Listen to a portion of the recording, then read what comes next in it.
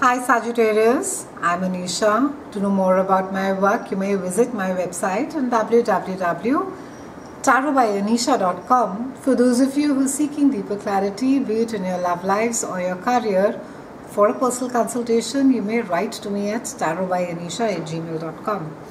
Sagittarians, we have uh, major planetary movement this month. We have uh, Venus that is moving, we have Mars that is moving, we have Jupiter that is moving twice and we also have the cardinal cross that is being activated in the heavens this month. So your first house, your 10th house, your 7th house and your 4th house is going to be in a bit of a struggle. Now the cardinal signs are your Aries, Cancer, Libra and Capricorn but the rest of the zodiacs are also going to be impacted by this cardinal uh, cross that is being activated. Let's have a look at as to what the month has in store for you. On the 5th, we have Mars that is moving into your house of intimacy, sexuality, power struggles, and transformation. Now, this house is all about who's bringing what on the table. How much is it that you're willing to give of yourself in a relationship? I think in this particular case, for you, more than the material bit of it, it has to do with the emotional. Are you willing to commit? Are you willing to give? How much of yourself are you willing to give Sagittarians? It is.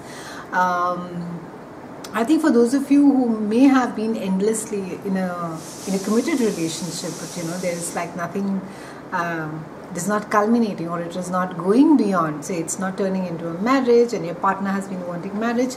You need to be looking at this sense of not wanting to. What is that fear that is not share your space with others? So you need to be rather than putting it under the practical bit of it and saying you know that oh it, it works out very well and these are the practicalities of life i think you need to be looking at the emotional bit of it. That what is it that you're so fearful about getting into? Why is it that you will not go that last bit of it on the 6th, we have Venus that is moving into your house of day to day chores and work briefly.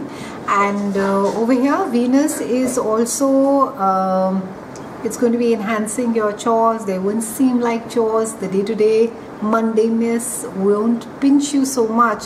And also, I think a lot of you are going to be uh, taking care of your health, about your fitness. You're going to be eat, making an effort to eat right. You're going to be exercising. On the 7th, we have Mercury that is joining Sun in your house of marriage and partnership, business partnership. So, very, very lovely aspect over here wherein we are looking at um, not just conversations but also opportunities over here.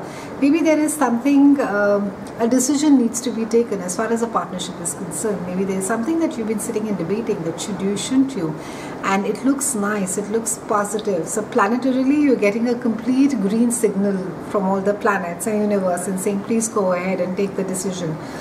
On the 9th, we have a full moon in your own house and we also have Saturn over there that is sitting uh, in, in uh, your own house. So it's an, a time to be opportunity to be making some changes over here. There's something maybe a realization of yourself uh, is going to be there. Maybe some of you are going to be um, not just realize but I think also accept certain things that you know maybe this is how it is going to be or maybe this is how far I I can push myself, and that's all right. I think it's very important to have clarity so that we can decide uh, wisely. On the 22nd, we have Sun that is moving into your house of joint finances and resources, joined by Mercury on the 25th, and finally, we have a brilliant new moon that is there. So, it's a time of discussing money, it's a time of discussing shared resources um, maybe helping your partner. Maybe your partner's income gets enhanced during this time. It's a time of uh, uh, increasing your intimacy your bonding your sexuality and also it's a time of transformation Sagittarius so if there have been things that you've you know patterns in your life that you've been struggling with forever and you've not been able to do anything about it try and give it another go during this uh, new moon. You will be able to let go of it because the opportunities are just immense for you it's been a pleasure speaking with you, Sagittarians. I'll see you again soon, and thank you so much for watching.